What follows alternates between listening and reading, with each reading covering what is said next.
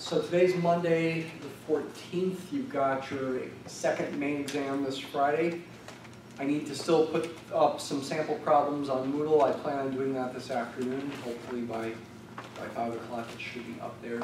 It's a list of problems. I probably won't have the answers ready yet, but um, I'll work on that. There could be some other problems, like I still have to come up with, that that would just be old exam problems. I still have to come up with some actuarial examples and think about what would be um, possible for you to do on the test with regard to that kind of thing. That's something I'll probably work on tomorrow morning. Today, lecture A, more with Taylor series for a bit, more error estimates, and then I want to relate Taylor series and actually power series in general to differential equations a little bit. Because we are going to transition a little bit into differential equations, and then we hit differential equations really hard after the exam, including Monday of next week. So we'll do a little bit of the transition and talk about how power series can be used to solve differential equations. Lecture B will, will focus on something called Fourier series, uh, which is a pretty hard topic, but we're just going to do the most basic kinds of things in it. Um, we'll have Mathematica do our, do our calculations for the most part, and then on the test, what you need to know for Fourier series is pretty basic. I'll probably essentially tell you what to do if I give you a Fourier series problem on the exam. I'll, I'll help you along the way to do it because it is a pretty complicated topic. We'll just hit the basics. All right, so as far as an error estimate, I just want to do one more example.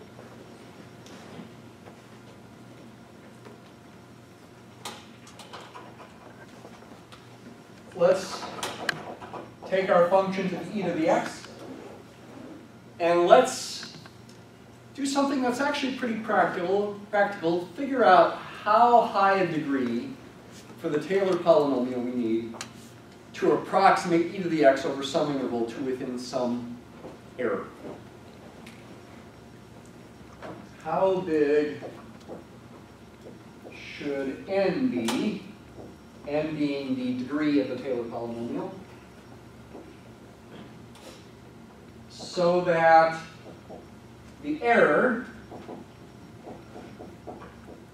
in absolute value is less than or equal to, let's say, 0.001 for all x in the interval, uh, let's say between negative 0.5 to positive 0.5. So the error in using a Taylor polynomial to approximate this function over this interval. We want that error to be less than 0.001 for all x in this interval. You can use that error bound, the error in using an nth degree Taylor polynomial approximation, which by the way you should always remember equals this. That's the definition of what the error is. The error itself is the actual value minus the approximate value. Then we take the absolute values of these things. This is less than or equal to some number m divided by n plus 1 factorial times absolute value of x minus a to the n plus 1 power, where a is the number where we're centering the Taylor series at. So for us, a is 0 in this example. And m is um, an upper bound on the absolute value of the n plus first derivative of this function. You might write something like this, the absolute value of the n plus first derivative of this function at an arbitrary number t is less than or equal to, to m, where t goes between the value of x and the value of a in this inequality here, where t is between x and a.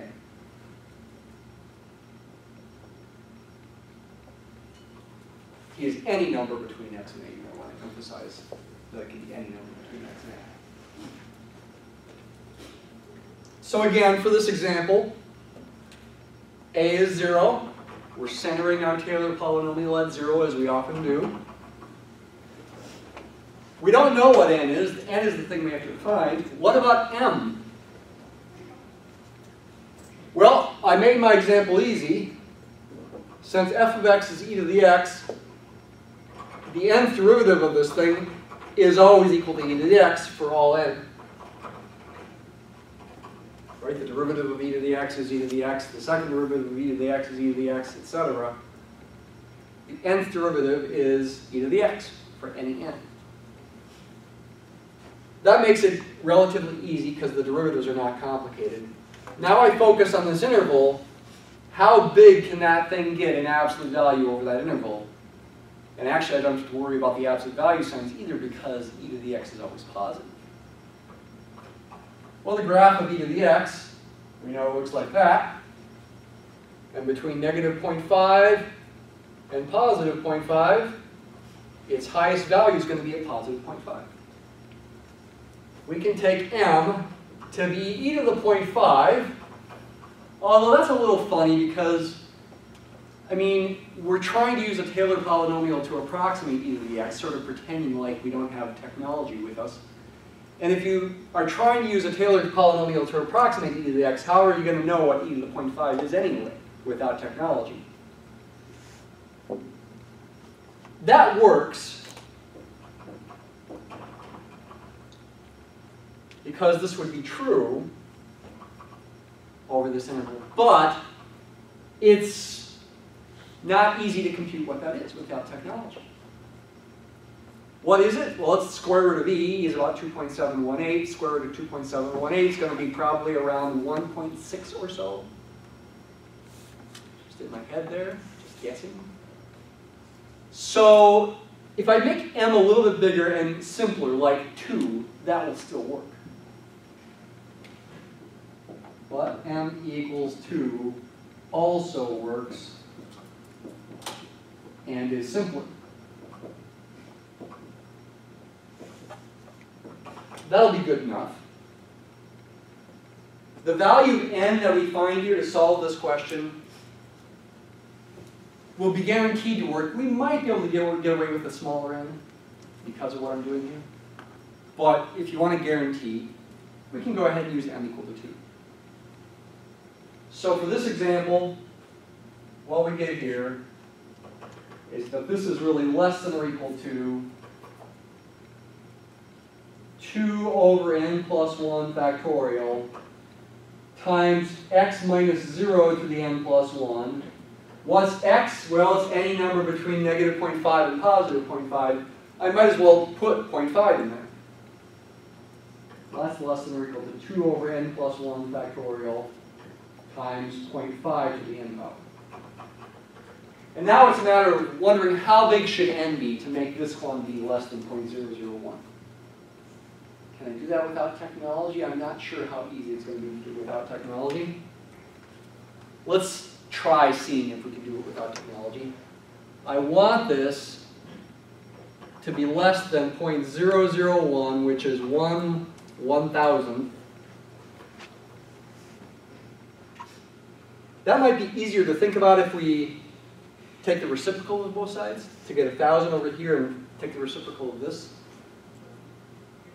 And the inequality would change the direction if we do that. So this would be equivalent to saying I want to choose n so that n plus 1 factorial over 2 times 2 to the n, taking the reciprocal of 0.5 is 2, is greater than 1,000, and that does simplify a bit. You can cancel that too with one of those.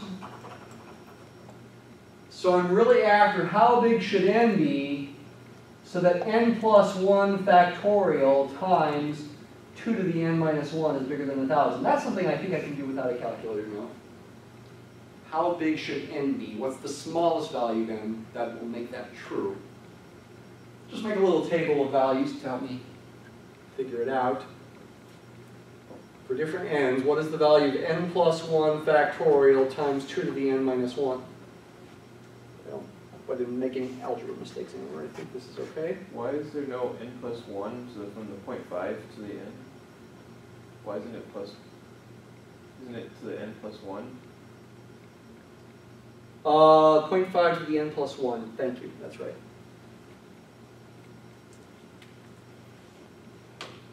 Which makes this a plus 1, which makes that just an n.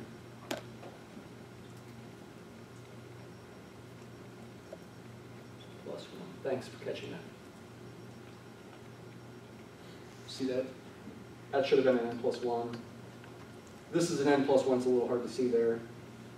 When I cancel one of those with the 2 there, this becomes an n power. So it simplifies to this. Well, when n is 1, this is 2 factorial times 2 to the first, which is 4. When n is 2, this is 3 factorial times 2 squared. 6 times 4 is 24. When n is 3, it's 4 factorial times 2 cubed. 24 times 8, 192 I think. I think probably one more is going to do it. When n is 4, it's 5 factorial times 2 to the 4th. Um, 120 times 16, which is definitely bigger than 1,000. So n equals 4 looks like it's good enough.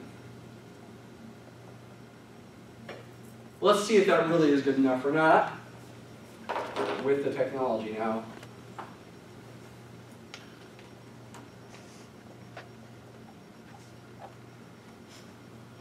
Let's just make a graph. Put it right here. So f of x is e to the x.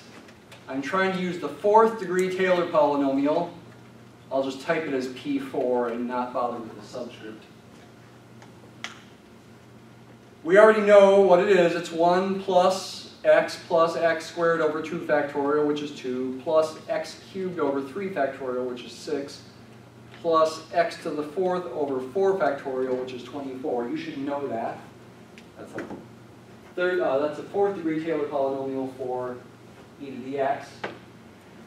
That's something you really should try to remember to memorize, even though you can put it on your note card. I, I strongly suggest you try to memorize it.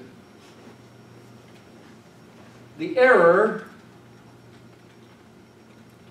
is going to be f of x minus p 4 of x. And I want to plot the absolute value of the error. x going from negative 0.5 to positive 0.5. Hopefully all the values of this absolute value are less than 0.001. Yep.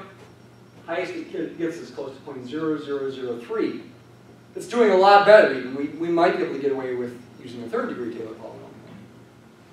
The error in absolute value is definitely less than 0.001. But according to the theorem and according to going ahead and replacing this with 2, we would know for sure n equals 4 would be good enough. Though maybe something smaller like 3 could still work. If we graphed f of x and p4 of x over this interval, the error is so small I bet we probably can, cannot tell the difference between them probably. Plot f of x, p4 of x, x going between negative 0.5 and positive 0.5, different colors. The error is so close to zero here with this graph that on this kind of scale, we're probably not going to be able to tell the difference between the graphs. Yeah, they look like they're on top of each other. Whereas if you go over a bigger interval, you can definitely tell they're different graphs. But between negative 0.5 and positive 0.5, you can't tell the difference between. Okay, so that's a, that's a useful thing. Imagine you're trying to program a circuit to approximate e to the x, where x is between negative 0.5 and positive 0.5. You can make circuits that add and multiply not too difficultly. Is that word? With not too much difficulty. And you're wondering, okay, I want to make sure in my circuit that I'm making it approximate e to the x within this kind of error just with additions and multiplications. And a fourth degree Taylor polynomial is good enough to do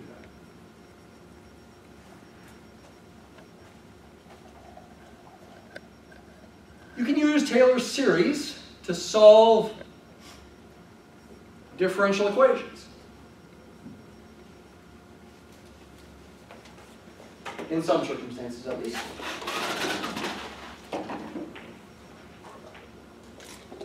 Okay, so I had you read a little in chapter 11. That would have been good to do before today, to review differential equations a little bit. Here's a fundamental differential equation we've looked at before. dy dx equals what?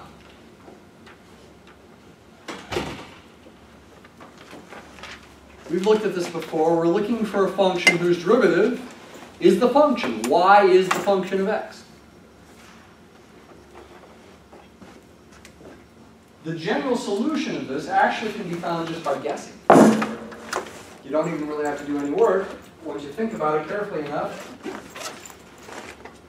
we're looking for y as a function of x, whose derivative is itself. Well, we know e to the x has a derivative equal to itself, just like the example we just did. E to the x is a solution. So is any constant multiple of e to the x. 2 times e to the x has a derivative equal to 2 times e to the x. This equation says find a function whose derivative is the function, y is the function of x. Any constant times e to the x works. Where c is any constant, that function has a derivative equal to itself. But what if we were having a hard time guessing? Okay? Well, you could use the separation of variables. In the next example, I will use separation of variables to try to solve the differential equation. But let's pretend we don't know about separation of variables either. You may not remember that anyway. You could assume you've got a series expansion for the solution. Let me also add an initial condition in here to make it simpler. Let's say y of 0 is 1. We know, based on the general solution here, that the unique solution of this initial value problem is just e to the x, because e to the 0 is 1. But what if you didn't know that? What if you didn't know about separation of variables? What you could do instead, with a series approach, is you could guess, you could hope that you can write the answer as a power series. A0 plus a1x, centered at x equals 0, since that's where my initial condition is, plus a2x squared plus a3x cubed. You might hope that that's possible to do. Well, based on this initial condition, y 0 equaling 1, that's going to imply what a0 is. a0 would have to be 1. The initial condition implies a0 equals 1, so you can write the solution like this. This power series that you're hoping will be a solution at least. What should you do next? You want to try to figure out what A1, A2, A3, A4, etc. are. You want this to be a solution, meaning when you substitute it into the left-hand side and the right-hand side of the differential equation, you get the same thing. dy dx should equal y. The derivative of this function should equal itself. What is the derivative of this function? Here it is. We're writing that as a power series as well. That would be the derivative. You want, in order for this to be a solution, you want that expression to equal this expression. You want those two things to equal, equal for this particular differential equation. Because this differential equation is asking for a function whose derivative is itself. There's the derivative, there's itself. I want these two things to be equal. How are they possibly going to be equal? If the coefficients of like powers, like terms, are the same. In other words, A1 should equal 1, 2A2 should equal A1, 3A3 should equal A2, I guess 4A4, which is not shown here, should equal A3. Let's write that stuff down. A1 should equal 1. The constant term should be the same. The x term should be the same. The coefficients 2a2 should equal a1, matching those two up. But A1 is, it has to be 1. So that implies A2 must be 1 half. Go to the next term, 3A3, coefficient of x squared there, should equal A2, the coefficient of x squared there. 3A3 should equal A2, which is 1 half. So A3 is 1 sixth. Let's go one more. I didn't write 4A4 x to the fourth here, but I could have. 4A4 x cubed, excuse me, not to the fourth. The coefficients of x cubed should be the same. 4A4 should equal A3. But A3 is 1 sixth. Divide both sides by 4, that means A4 must be 124. Hmm, we're seeing a pattern here? Factorials. Yeah, exactly. This is 1 over 2 factorial. This is 1 over 3 factorial. This is 1 over 4 factorial. This could be thought of as 1 over 1 factorial. And that could be thought of as 1 over 0 factorial. These are the same coefficients that you have in the series for e to the x. This will equal e to the x. Assuming the pattern continues, it does. Y will equal 1 plus x plus x squared over 2 factorial plus x cubed over 3 factorial, etc. And we know that equals e to the x. So you get the same answer. That's kind of cool. Glad that happened. Let's do a more complicated example. Where you can't just guess the answer. How about dy dx equals y squared? Let's also add an initial condition. dy dx equals y squared, let's say y of 0 equals 1 again. It's a more complicated kind of differential equation. It's hard, not impossible, but hard to guess the solution. We're looking for a function whose derivative is itself squared. That's what this equation is, what it means to be a solution, whose derivative equals the square of itself. y is the function of x. You got to imagine an f of x there in place of the y. It's harder, but it's not impossible to solve. You can separate variables. Let's solve it by separation of variables first. Oh well, this board is becoming a mess. Somebody used water to try to clean this board over the weekend, and it was not a good idea. Hopefully it's not showing up too badly on the video. Don't ever clean a whiteboard with water. It needs a special liquid. You can separate variables. Do you remember that? We talked about that a little bit back when we were talking about integrating by partial fractions. You can get the y's on one side and the x's on the other. In other words, you can write this as y to the negative 2 dy equals dx. Divide both sides by y squared. Quote unquote multiply both sides by dx, even though that's not what we're literally doing. And I, I, think I said when you see something like this, you should get this itch to, to integrate both sides. Oh, must integrate. Oh, that feels better. And after integration, you want to solve for y as a function of x. Right side to integrate. x plus a constant. Let's call the constant c1. Left side's not too bad either. This is negative y to the negative 1 when you integrate it. Should I put a plus constant on that side either? No, it's okay to just have it on one side. But I do want to solve for y. So this is the same as negative 1 over y. First, might want to multiply both sides by negative 1. Yeah, right, right uh, 1 over y equals negative x plus c2, where c2 is negative c1. Although I think I'm just going to call it c now. I could write a minus c1 instead.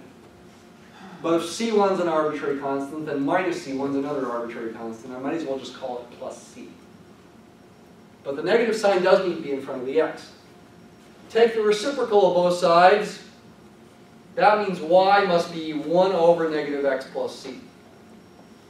Common mistake here people make is they sometimes write this as negative 1 over x plus 1 over c. No, don't do that.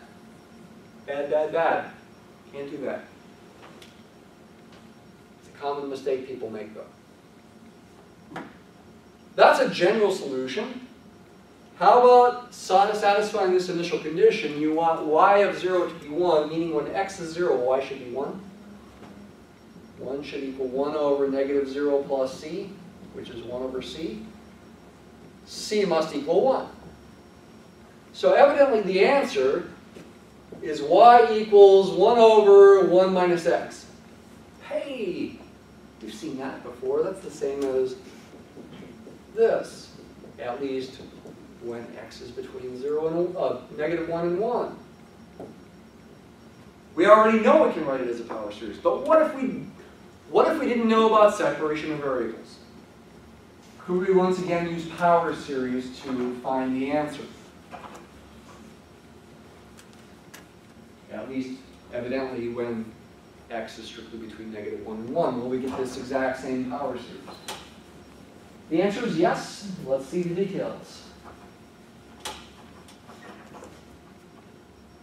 So assume y is a power series in x centered at 0.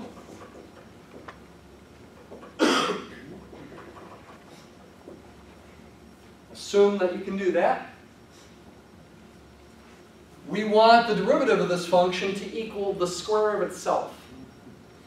So we're going to have to square this power series. Not real pleasant, but it's doable. This initial condition here, y of 0 equaling 1, will imply, once again, that a0 is 1. So we can write it like that. That simplifies things a little bit.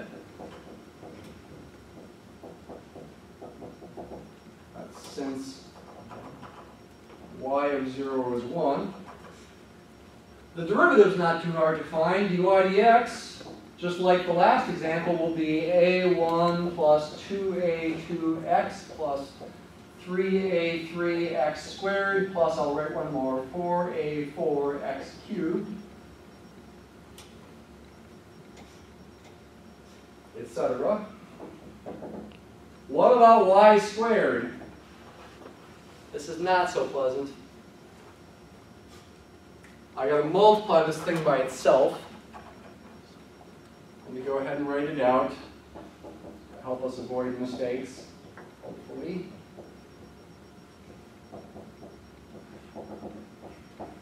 Multiplying this thing by itself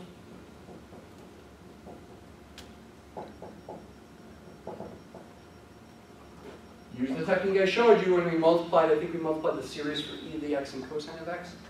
Start over here in the first term and multiply it times every term over there once. 1 times every term over there is every term over there.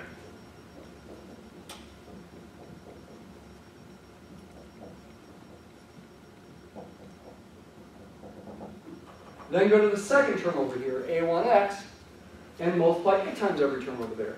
And put the answer one line below, lining up like powers of x, vertically. a1x times 1 is a1x. Put an a1x below the other a1x a1x times a1x is a1 squared x squared.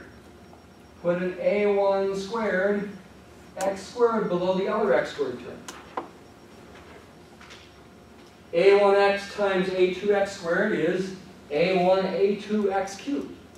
Put that x cubed term underneath the other x cubed term.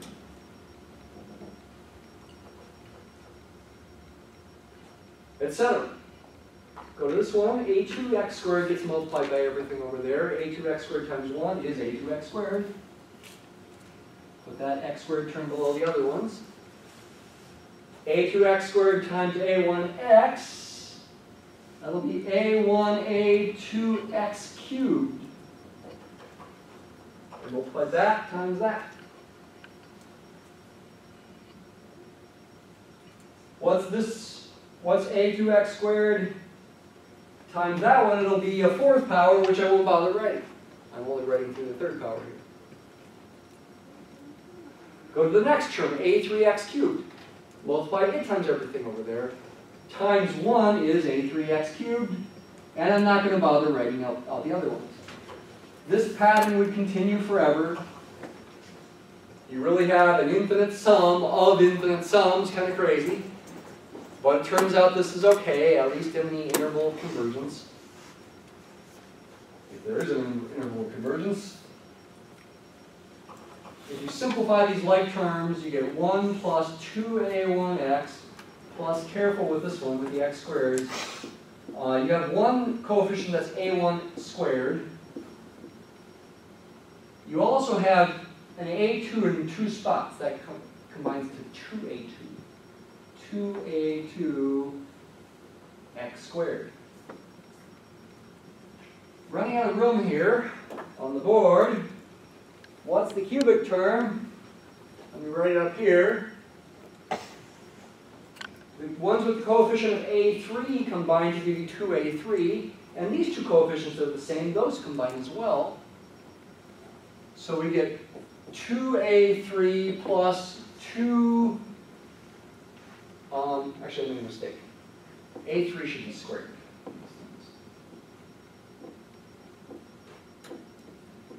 Because, no, wait a minute. Maybe not. Let's see. It's not, sorry. I'm- wrong.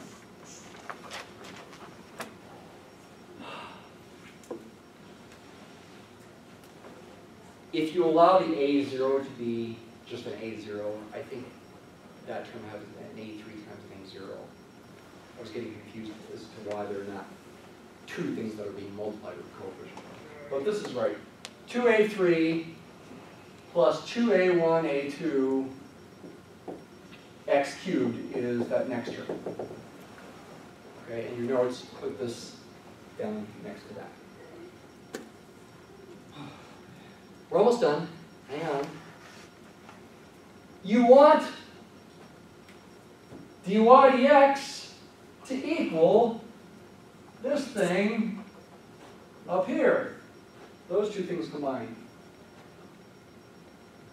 To be a solution, because we're looking for a function whose derivative is itself squared. Okay, what does that mean? It tells you Actually, I think I can just do this verbally. Listen carefully and watch where I point. It tells you A1 must equal 1, just like A0 equals 1. Because these constant terms have to be the same. It tells you 2A2 must equal 2A1. The x terms must be the same. But A1 is 1, so A2 is 1 as well. And it tells you 3A3 must equal that. But A1 and A2 are both 1, so this is nothing other than a 3. 3A3 must be 3, so A3 must be 1 as well. All the A's are going to be 1. Hey, that shouldn't be surprising. We do get the same thing. Should I do say it again? I know verbally, not everybody was even looking up here. you got to look up here if you're going to get this. Okay? You want this thing to equal that thing with that at the end of that thing.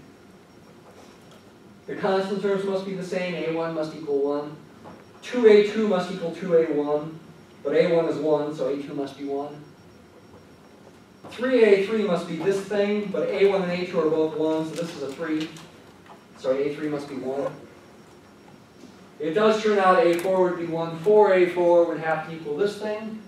And if you plug in 1 for A3, A1, and A2, this is 4. 4A4 must equal 4, so A4 is 1.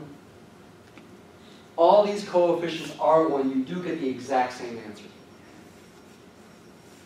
Though the power series form is only valid for x between negative 1 and 1. That interval of convergence.